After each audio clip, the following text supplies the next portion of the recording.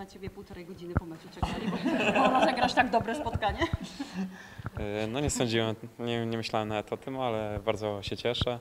E, Wiadomo, że to działa w dwie strony, ale, ale jestem szczęśliwy, że czekaliście na mnie tyle i, i na pewno, Masaż, na pewno masaż ci się należy, bo naprawdę dzisiaj tam biegałeś po tej prawej stronie pełne 90 minut.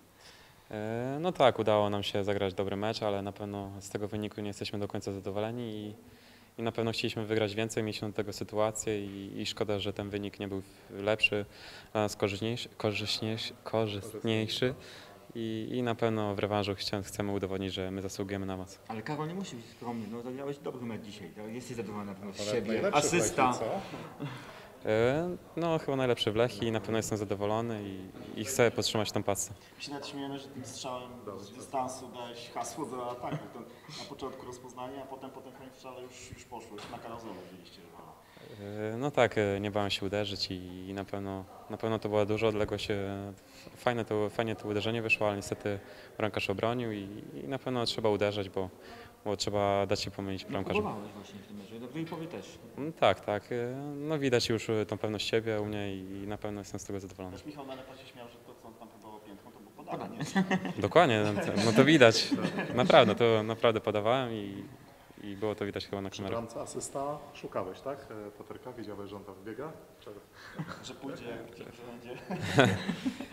Y, No, nie, no dośrodkowałem, ćwiczymy to na treningach, y, dużo, dużo zostaję po treningach i na pewno dużo dozu- dorzucam i, i na pewno to w meczach działa. Karol, atak atakiem, ale tam jeszcze po tej e, twojej stronie był groźny, groźny skrzydłowy. Na niego też musiałeś zwrócić uwagę. Też sobie za bardzo ten Tibling, tak? Nie, nie pograł.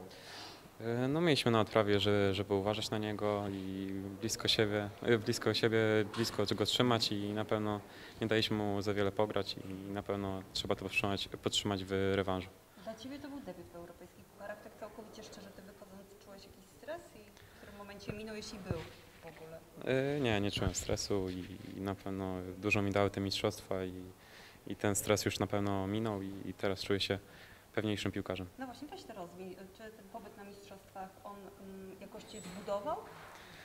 Y, Na pewno tak y, i te mistrzostwa dużo mi dały, czuję nawet to po sobie i, i na pewno te mistrzostwa mogę zaliczyć do udanych i, i teraz widać to na boisku. Ale to chodzi o kwestię mentalną przede wszystkim. tak? Dokładnie, dokładnie tak, o głowę. Moim zdaniem głowa u piłkarza, u mnie to 90% sukcesu.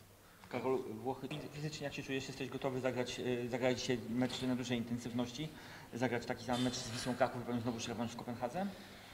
Y, Czuję się naprawdę dobrze i na początku kariery właśnie łapało mnie te skurcze, a teraz żadnych nie mam dolegliwości i na pewno czuję się bardzo dobrze i, i wydaje mi się, że mogę zagrać w meczu z Wisłą. A piłkarsko? Brand by było na jakimś zbliżonym poziomie do Belgii, na przykład Włoch, z którymi graliście na młodzieżowych mistrzostwach Europy, czy to jednak trochę niższa Czy do okazji? Czy jest lepszy od? Nie no, wydaje mi się... zaskoczeni, że jednak no, trochę tak bezbarwnie oni wyglądali.